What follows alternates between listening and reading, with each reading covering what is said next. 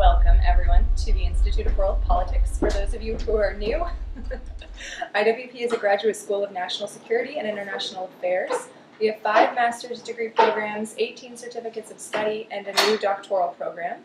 We also offer the opportunity to take a single course without having to pay an entire semester's worth of tuition costs, and one can also audit such a course at a much less cost. If you're interested in learning more about us, please feel free to speak to one of our staff at the conclusion of this event. And now a little bit about Eric. Um, Eric Fulton is a business owner and technologist. His first job was hacking international corporations in order to help them identify vulnerabilities and secure their information systems. He has published independent research at universities, presented at the prestigious Black Hat Conference, and the world's largest hacker conference, DEF CON. Eric went on to build a successful global banking network with a strong presence in Asia. And as an advocate for privacy and international or internet freedom, Eric continues his mission to contributing to a secure, free, and open internet. He is currently employed at, as the identity evangelist for Keybase, a company dedicated to solving identity and encrypted communication. So that's enough from me. Everybody please help me in welcoming Eric. Hello. Uh, after that long introduction, which I appreciate, it's good to remember we're all still human. Uh, what I'm going to do and, and hope throughout this talk uh, is not use too much technological jargon, so if I say a word that you don't know what it means, just raise your hand and, and ask questions. I like things to be interactive. Uh, I can talk at you all day long, but I think it's more interesting to answer nagging questions that you have about the world and technology, etc. Uh, so with that, I'd like to start with a story. There's a lot of different stories I have. My, uh, my first job was hacking and breaking into corporations greatest first job uh, I think I could have ever had. I have a very exploitation-based mindset, which I feel bad. There's people that love building, and I love breaking, uh, and I've just accepted that that's my skill. And so for mine, uh, a lot of my job was breaking into corporations, and in coming from the perspective of an attacker. There's different levels, as we describe, of types of attacks, and so there's uh, arbitrary or random attacks, kind of the, the attacks on the street, someone trying to just break in an attack of opportunity, uh, the door was unlocked. Then there's more targeted attacks and then nation state attacks. Because I'm the, uh, the technology person in my, my family that many people know, oftentimes people will ask, someone going to hack me? And most times I can tell them, I'm no harsh feelings, you're not important enough. uh, the average American probably thinks that they're more important than they are, but if they're not carrying national secrets in their head or have a security clearance, probably not worth it. But it's an interesting point that we're, we're at right now with Dragnet style security and surveillance of whether you're important or not, uh, it's so easy to collect information about people that on the off chance you may be important someday, they're collecting a lot of information about you anyways. Uh, one of my first hacking engagements was uh, what's called a red team attack. And so what that is, I'm just allowed to attack a company within ethical boundaries uh, to see if I can break into their information systems. What that means is, uh, even though for me the easiest thing to do would be to break into the back window of the CEO's car and steal their laptop, uh, I can't do that. But I do have a lot of creativity in breaking in, and I love breaking in. So for this particular organization, the CEO had a little bit of uh, challenge for me. He was a little bit younger, and he went, "We're incredibly secure. I don't think you have any chance of breaking in." As many people often feel like, right? You put a lot of time into your information security process. You've hired people. You've got a good security posture. But for me, that's more of a call to action. Uh, and so I thought, okay, let's get crafty. And this was around the time of, has anyone here jailbroken their cell phone or know what that means? Couple people. Uh, so that's where on your cell phone, if you want free apps, uh, you can effectively hack it and install things. Most recently, uh, I think it involves every iPhone up to the 8 or 9. There's currently a jailbreak out there that's got a soft reboot, but allows an attacker to break into your phone and have full access to what's on there. And when you think about it, what's on your phone? Not just strictly information, but also location information, uh, who you interact with, passwords, at this point, your credit cards in your bank. There's a lot of information on there. And so I thought, okay, how am I going to both make a point to the CEO that I can break in, and how can I do it in such a way that's a little more crafty? And so I did a little bit of open source research, and people are becoming more and more uh, knowledgeable of this today. People maybe now have a LinkedIn profile. People are starting to delete their Facebook profiles.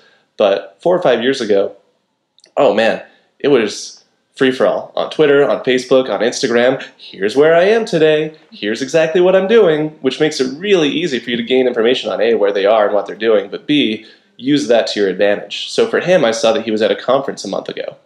Just right there on his LinkedIn profile about he was attending this interesting conference and was a speaker there. So what I did was I thought, okay, I'm going to give him a cell phone. Uh, naturally, it's one that was pre-cracked and uh, had a little bit of extra software on it. And that cell phone was going to be, uh, I had included a little pamphlet that said, you won a door prize for uh, attending this conference, and for attending it, you were selected to win this cell phone. And for most people, if you win a brand new iPhone, first thing you're going to do is use it, right? If you've got a year or two old phone, it's like, this is awesome. Uh, but right before I sent it out, our team had cooked up a little application. We had cracked the iPhone uh, and installed a little application that would turn the microphone on five minutes before every calendar appointment, five minutes after every calendar appointment, and then mail us that audio recording. And because we were more ethical, we scoped it only during business hours because I don't want to be listening to people's microphones on their cell phones at various times of the day. Uh, and I should say this is partially why I'm a little bit more paranoid as a person now, is when you're listening to someone else's cell phone in real time, you kind of go, that's creepy. that could be happening to me. Uh, so we sent that cell phone to him. It was a little bit of a crapshoot because, you know, even if you send someone a free cell phone, maybe they have the operational security in their mind to go, maybe this isn't a good thing, or maybe I should should look this gift horse in the mouth. Um, but such a rush of adrenaline when you're watching your server, and a day and a half later, all of a sudden you get a phone home, and you see that he's uploaded his email contacts, He's typed in his passwords to his Exchange server. We now have access to his corporate network. It was amazing. And we had his corporate Wi Fi code. So with a $700 iPhone, uh, I was able to drive out front of their organization, log into their Wi Fi, log into their domain controller, which for most uh, Windows based organizations is what controls their information access policies, and uh, have full access. It was a good time. Uh, but what's more interesting is now we're moving away from that. We're moving into uh, a new type of space. You guys are in DC. It is way more fun to see what happens between nation states and individuals because it's a bit more of a shadow game. Uh, most of my observations are going to come externally. Like I didn't just sit down with the SFB and go, "Hey guys, what are you doing to attack people?"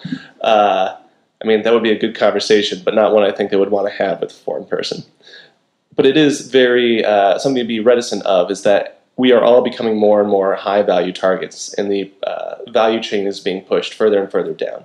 You don't need to attack the CEO, and arguably you don't want to attack the CEO because if he notices, he can take direct action in making the company more secure. If he realizes he's been hacked, he realizes he's a target, and that's not something you want front of mind. So it's probably best to take the information uh, that you want and then try and find the least privileged person with access to that information. Uh, so let's take a look at ooh, incentives and goals of other countries. I think it's very well documented at this point. Uh, Russia wants to disrupt our social structure. China wants our stuff. Uh, and most likely our information. But it is also, they're becoming more sophisticated in their dragnet style uh, approach to acquiring information. Just curious, does anyone in here have the app TikTok installed? All right, awesome. Much more of a, I mean, teenager, I would say, styled app and targeted at this moment. But uh, that app is owned by a Chinese company.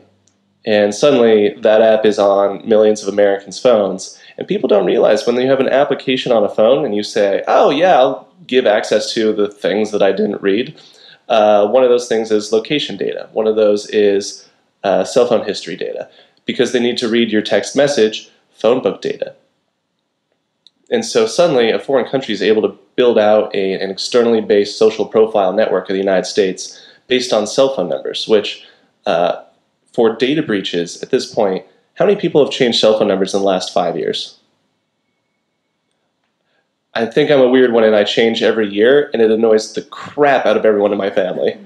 But for everyone else, uh, it's turned into something that's what's called a primary key or a way to index information uh, for you specifically, because it's not something that changes that often. It's not something treated secretly like a social security number, and it is something that you fill out on just about everything. So suddenly, if there's a data breach, I can merge your phone number with everything else. And at this point, everyone's been hacked. Home Depot. You wouldn't think that Home Depot data would be useful, but now we've got this amount of information correlated. Just recently, today, 1.2 billion records from data aggregators was actually just hacked. Again, surprise. Uh, and that's part of my personal uh, endeavor is to create legislation around making things more private. Not necessarily within the scope of this conversation, but it's definitely something that is becoming more and more on the uh, prevalent mindset of people as, as time goes on. So when we're talking about nation state style attacks, to circle back to that, how and what do they choose to target? And so it's helpful to identify if you are a target based on what information you have access to and what you think that they want to steal. I think largely, I'm not going to go delve too deeply into targeting, but effectively it's find the information you want, find the person with the least amount of access, or the least privileged person that still has access to that, and then see about different ways that you can go about exploiting it. And this is where it kind of diverts into both a technology program or a problem and a personal pro problem. So I'll probably speak less to uh, kind of like the more CIA approach of human operations and dealing with people and going, you know, you have a gambling problem. Not to pick you out individually, but in uh, hypothetically, a person has a gambling problem and go, we can fix this externally in exchange for information. Um, we can approach them as a loan shark that is looking for these sensitive documents, not because we're a foreign nation. I think a lot of people still, I mean, if, if they're a patriotic person that has access to this information, they're not just going to hand it over to China. They're not just going to hand it over to Russia. But if there's a premise that can be built to where they feel less guilty handing it over, like, oh, you know, I work for Northrop Grumman, but I'm selling to uh, a different defense contractor ah, that, that feels like American business, right? Not to call out contractors or businesses being, being unethical, but I think for a lot of people, that's still, for an unethical person, it's within their realm of ethics, which is an interesting uh, thing to identify. I land more on the technology exploitation side of things because to me that's more entertaining and that's my bailiwick. And so it breaks down into the number of different ways that you can target a person for both information, to learn about them, and to using that information in a way that can lead towards your ultimate goal. Uh, and knowing all of that from an attacker perspective is useful so that you don't become one of the attacked. I definitely am vindicated by Edward Snowden revelations because I think before when I talked, uh, people would go, Eric, you need a tinfoil hat. And now it's a little bit more, huh, I guess people are spying on people. Uh, both the US government, the Chinese government, the Russian government, they're spying on their own citizens just as much as they are on anyone else. And so when you're in a foreign country, it's something to be incredibly aware of.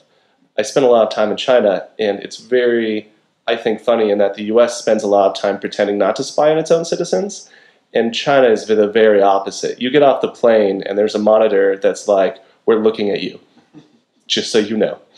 Uh, a little box is drawn around your face and an AI tag is attached to it as you walk through subway stations, as you walk through the city, as just a general reminder of, we're watching you. we're being watched in the United States as well, but we don't have that constant reflected reminder. And it changes your behavior.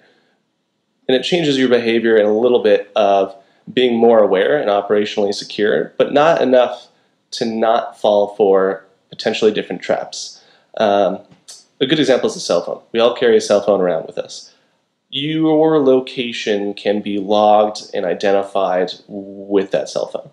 Uh, if I was building out a clandestine network personally, and I'm a weird person, I get this. Uh, I often think about if I were a nation state, or I don't even need to be a nation state to do these different things, what would I do? So one of them is Bluetooth beaconing, wireless beaconing, uh, and cellular beaconing. So I can see where people are at a given time. You can too. If you bought the stuff on the, uh, if you bought the same things online, spent the same time doing it, and then you think, okay, what can I do with that information? If I want to target you, I can go. She goes to this same bar just about every Wednesday. She likes to work out at this Pilates class. This is the general schedule of this person. And then what you can do is you can build and use that technology to combine it with a social profile so that you can bump into that person, so that they can have similar interests, so that they can be in the right place at the right time to commiserate and gain access. It's it's a little bit like the movies and a little bit not in that uh, people are very laissez-faire with the information. Many people have state secrets on iPads or things that they don't even deem as what would potentially be a state secret. You've got access to your insurance company that's got a million records on a bunch of different stuff about United States citizens. You don't think that a foreign country would be interested in that, but maybe they are. And you would never consider that they would send someone to befriend you and to gain access just to get a hold of your phone for 10 minutes. Sorry to be creepy about that. There's a lot of different creepy things that can happen. Do you guys have questions so far? Just generally terrified? All right, that's fair. Um, another good one would be, all right, well, I took some notes then. Probably I would say talking about technology exploitation. So probably worthwhile explaining some of the different ways that we're all vulnerable. Does that seem like a good direction to take? Uh, okay. The probably the easiest and best one. I mean, 1984 is a very prescient book, but I don't think they would have ever assumed that we would carry around our own personal tracking device uh, that can be accessed anywhere globally. There's a protocol called SS7 that basically handles interoperability of cell phones globally. So when you send a text message, it gets routed anywhere in the world. Uh, and SS7 is part of that. But what we don't realize is the things that we have in our pockets uh, have a what's called a baseband, or what connects from your cell phone to the cell tower, that we don't exactly know what it does. It's a little bit of a black box. Uh, and while that's somewhat useful, people that write exploits, um, and an exploit being a way to remotely take control of someone's software or hardware, uh, do spend a lot of time at trying to identify, okay, how can I get a remote exploit? And so a remote exploit is the uh, best best possible thing that you can get, and that's where remotely I can gain in what's called root access or full access of your device. Uh, I've been on the internet for a long time, and so remote exploits and things called zero days um, have gone from more of a hacker culture thing, as it were, of breaking in for entertainment, and it's turned into a full-on arms-style deal marketplaces. So right now, like an iPhone O Day is $2 million. There's groups that will straight up sell them. There's groups that will sell you the opportunity to use them. A good example is, uh, I think it's called NSO Group Technologies, is a firm out of Israel and they will remotely exploit people's phones for you for a price. Uh, one of their largest customer bases is Saudi Arabia at the moment, and it mainly makes you wonder uh, as we move into this new realm of nation-state spycraft, Uh, and it's been going on for a while, a confounding of private entities and public entities, because suddenly you have a much more complex level of attribution. Is it the private company that's attacking them? Is it the country of the private company that's attacking them? Is it the country that paid to have them attacked?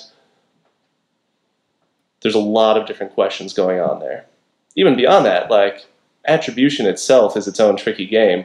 I can proxy to China and then hack from China to the United States and then have it look like China's hacking the United States. Is that China hacking the United States? And at that point, are we just choosing to attribute to China because we want that, right? there's a lot of different games that can happen in the cybersecurity world that allow for uh, it's a dynamic landscape. And so going back to these marketplaces, you can buy remote exploits for any sort of software for any sort of price. And an O day is or zero day is something that hasn't been patched that no one else knows about. So a good example would be, okay, I've done the effort to go, hey, this organization has a Windows Active Directory server that I want to break into. I can look on a market and see is there a remote exploit for something that's Windows based that I can break in. If there is, I use that remote exploit. It's not patched. It's not something that can really be defended against. And now I've got access to that organization to steal everything. And at that point, with digital information, you don't necessarily even know if it's been stolen. There's companies where they're being told, by the way, five years ago your crown jewels were stolen. How do you even react to that as an American corporation? Or a foreign country has been in your servers for the past two years. Did you not notice that? Uh, or did you wonder why there was competitors that were hitting the market at the same time as you? That's why. And it's becoming a more and more delicate issue because the internet transcends borders. In a traditional nation state paradigm, the United States government defends our borders, and by virtue of being inside the border, we're defended by our government. But digitally, that's not the case. Digitally, anyone in the world can attack me right now. How do I defend against that? How do I even pretend to defend against that? When I've got a device that's a moving landscape that could be broken into at any time, how do you store information securely? It's very funny. Uh, there's a computer science department at a university that still prints off their students' grades. Uh, and I went, why do you guys still use paper? And then they were like, we don't trust our students and they can't hack the paper. and in my head, I was like, I mean, I'm pretty good with a lockpick set. I'm sure that they could substitute one in that out, but at least they were trying and they were aware of the issues that were there. Any other questions so far? Yeah, on the zero day, how are they generally deploying that? Because, you know, I'm pretty careful about not just clicking on something in an email or text message or whatever. I mean, I know like journalists, you know, that are dealing with sensitive information are very careful about those types of things. Absolutely, yeah. So the state of the art right now is uh, Google's a bunch of jerks in a good way. Uh, there's people that are actively scanning the, uh, the internet. Before, um, it was kind of more wide swath based attacks. And now attacks have turned into highly, highly, highly targeted attacks because they don't want anyone to A, see what that zero day is, B, steal it and start using it elsewhere, or C, even worse, start patching it. Uh, so a very recent one that just came out is uh, Google has a, a fantastic write-up of a Chrome zero day, and what it was um, what it was targeting and how it was deployed was at a watering hole attack. And so the idea of a watering hole attack is you poison the well that the animals go to. Um, and so, in a digital equivalent, you identify a website that people go to that you want to exploit, or you know that person goes to, and then you deploy your attack there. And you try to be as highly specific as possible. So, if I wanted to say, attack IWP students or faculty or alumni, and I know that there's a newsletter website, then I would set my target on A, hacking into that website, and then B, deploying malicious code on that website that only attacked people that were already logged into their IWP portal or that were visiting that website. Yeah, no problem. And so that's how it's being deployed right now. Um, interestingly, Google, it's a, the constant trade-off of security and privacy versus, uh, well, privacy versus security. And so Google is able to see that through uh, what's called like an O-Day initiative of looking for uh, I mean, if you use Chrome, suddenly you're in Google's network, and they're trying to identify was this computer exploited? We have five computers that were exploited in the same way. Is there any way that we can correlate this information together? And that's a valuable way to do it. Um, Why do use Firefox? exactly. Firefox is a fantastic thing to use. Um, it's, it's crazy that extensions like NoScript aren't automatically installed. Um, Ghostery, ad tracking blocking because it's really I can track people on the internet. If I, just a random guy with a laptop, track people on the internet, there's people that are better funded me, better funded than me already doing it. Uh, one of the most fascinating things that I came across, you think of hackers as lone wolves living in their mom's basement in you know Siberia, breaking into other people's computers. And uh, I was reverse engineering, and when I say reverse engineering, um, a binary is you can write software that is readable by humans, then it gets compiled into machine code, which is ones and zeros. I can't read ones and zeros. And so reverse engineering is you can take that and try to identify what that code is doing. And so it was interesting having reversed a binary, and usually with hackers, it's very apparent one person just wrote this piece of software. Uh, and in this software, there was enough artifacts of information that I could identify that they had a quality assurance team. So like in a regular corporation, there's the people that write the software, and then they QA it, and then they check it, and then they push to production. and this was malware. And so it was just this hilarious realization that here's a criminal enterprise stealing credit cards and bank account information, and they're professional enough that there's people programming the application and having people quality assurance check it.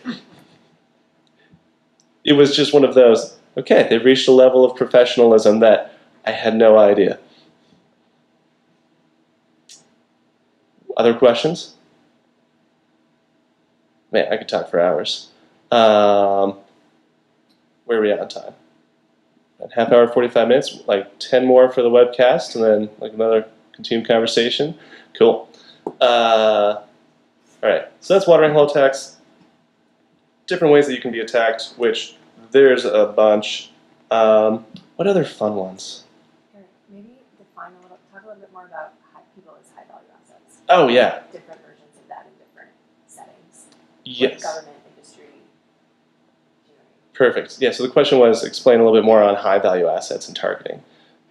Which is very funny. I, I didn't realize until recently that when I consider a high value asset, I think that is a person and a human asset, and not a physical asset. Because physical assets are, uh, I don't know how to put that. Like you can steal things, but things aren't worth that much. But information and organizations and knowledge is stuff that you can't put a price on. And so for nation states, in terms of uh, a nation state attack, dealing with cyber criminals, you know what they want money, right? Like, if there's not a return on investment with that, they're not going to attack it. Nation states are a lot more tricky. They want to steal information. They have a high level of, um, they have a high aptitude and a large budget for collecting something that they may or may not use. So, if a hacker, I mean, it's one of the beauties of capitalism is a hacker is going to try and break into a bank, and if they break into that bank, they'll steal that money and they'll spend it, and you know that cycle is going to happen. With a nation state, they might break into an organization, do nothing, and then just sit there for a decade because they might want access to that at some point in the future. And that's a lot harder to identify and to trigger. Um, at a major tech company, I did a uh, forensic analysis. So they had identified that they had been hacked, and the only way that they knew they had been hacked is they had seen information from internal to their system on an external uh, pastebin site. So it had been pasted, and they had found it that way. And they went, "We don't exactly know how we've been hacked, but we know we've been hacked." And so I had set up monitoring, and on the network, uh, my skill was network forensics. So you can lie and have a computer lie to you. So I can have an exploit on your iPhone, and the iPhone will go, "There's no exploit on here." But at the end of the day, you have to get that information from the iPhone back to an aggregation server, back to wherever you're trying to get it exfiltrated to. And so I could see every 10 minutes, based on the frequency analysis, a server was beaconing out. And all it was doing was just saying, hey, anything for me? Hey, anything for me? Every 10 minutes. And I was there long enough that uh, every 12 hours, a response would come back and go, hey, send what you got. So it was an aggregation server that was sniffing for passwords and credit card information, putting it into a text file, and then whenever the uh, server said, send what you have, would send it up, which is very tricky to identify. Had I not just been sitting on the network looking explicitly for that, that would have been a very hard thing to identify. And so we shut that down, and then uh, I left that script running by accident, actually, and it turns out that on a different server, because a bunch of servers were into an aggregation switch, and so I was monitoring the switch, a different server was pinging out every seven days and going, hey, anything for me yet? And so when we took offline their first one that was checking every hour, then that seven day uh, server got hit and went, hey, time to activate. And then you could see a flurry of information. It looked like they had broken, or they had already taken uh, control of this server, so they connected back to this server, broke into another server, and then set that up as their new hourly server. How do you root out something like that? What if they had a server that would ping out once a year? I'm not going to find that. Other people are not going to find that. It's highly, highly unlikely, which is why once you're exploited, it is incredibly difficult to root that out. Uh, on a personal level, just throw everything out. Uh, there's been a few times where my electronics have been out of my personal possession uh, due to a foreign country wanted to look at them for a couple of minutes. And at that point, you can only assume that they put something on there. Like you just have to start over, and it sucks because you're like, why'd you guys have to do that? Uh, but that's a very, very real thing that happens to people right now. When you go through the, even the U.S. border, they'll ask to look at your laptop. They'll ask to look at your cell phone, and if you unlock your cell phone and let them walk away with it for even ten minutes, it's not your cell phone anymore.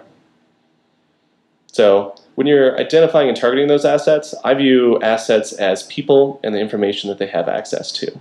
And so for a country, at the highest level, it's all a board game. It is what information do I have, what are my objectives, and how can I leverage that information to achieve that objective or prevent my opponent's objective. And so that information may be manufacturing locations, that information may be plans on how to build a jet fighter. Uh, it's very dynamic, and so what you see is different teams within these nation states being tasked with different uh, information to achieve.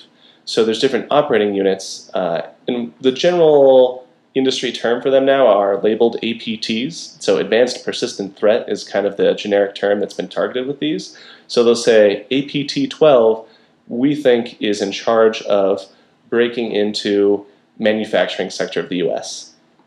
And the reason that you can do that is because usually they use a common code base. It's not easy creating these exploits and chaining all the tools and doing all of that. And so when you have a team, they reuse different components. So then we can identify, oh, we just arbitrarily uh, label these guys as APT 12, but we've seen these same shared components across four manufacturing organizations. It's fair to assume that there's now an external uh, threat that's goal is strictly to break into the manufacturing sector. That's not that scary when you think about there's an APT for critical infrastructure. There's an APT whose sole goal is to have access to shut down U.S. power, points, power plants at any time. If they shut down power plants, so many more people would be awake. Sorry. You gotta make jokes, guys. If you're just gonna talk for an hour, it's why I don't have a PowerPoint. Uh, but my misspoken uh, word it was meant to be power plant. And so you would think, oh, if they break into a power plant, their whole goal would just be wreck that power plant immediately, right? But their goal instead is just keeping that in the back pocket and breaking into as many power plants as possible so that if they ever did choose to cause a disruption, they could. I was going to ask you about Yeah. that. Like, we hypothetically say moved into Hong Kong to help them, could China just cut the power? Do you think, or do you think they're they have that? Type of capability? Oh man, Hong Kong's tricky because technically Hong Kong is China. I'm uh, saying, if China want to do something, I mean, that's do true. Do you think they have the capability to to do something to us, when we probably have the capability to do something to them as well? I, th- I think that's the terrifying realization is we're in a digital cold war and no one's made the first move thankfully because anyone could probably shut down any number of hospitals and critical infrastructure in any country at the moment that's a very dark assumption uh, sorry but i think it's rather true I, hong kong's interesting i don't think china will intervene with hong kong for a lot of different reasons but if they wanted to they absolutely could. They could shut down critical infrastructure. They could shut down access to water. Uh, humans are very complacent when they haven't eaten or drank for a while. Uh, but I think we're still, again, we're still very much in a digital cold war of no country wants to reveal what their cyber capabilities are, uh, so that whenever we do go to war, uh, it'll be very interesting one of the one of the best uh, nation state based attacks that has a write up. Have you guys heard of Stuxnet? Stuxnet is a fascinating use case, and that's where the U.S. actually was able to target very hyper specifically Iran uh, centrifuges for their nuclear program. Like we built something so hyper specific and so targeted that we screwed over their nuclear program for a while. It's amazing, and there's a there's an in depth article that I highly recommend reading about that because the Stuxnet article is the current level of subterfuge that we have with technology. At some point in the future, uh, everyone could wreck everyone's digital assets and uh, tools, but I think the the fallout in each individual country would greatly outweigh that. You guys got to have some questions. Why don't we um, call it good for the official talk and then maybe open it up to more questions? Yeah, that's perfect. I don't know. And the official webcast, and then have more. Oh yeah, cool. So, thank you, Eric. thanks guys.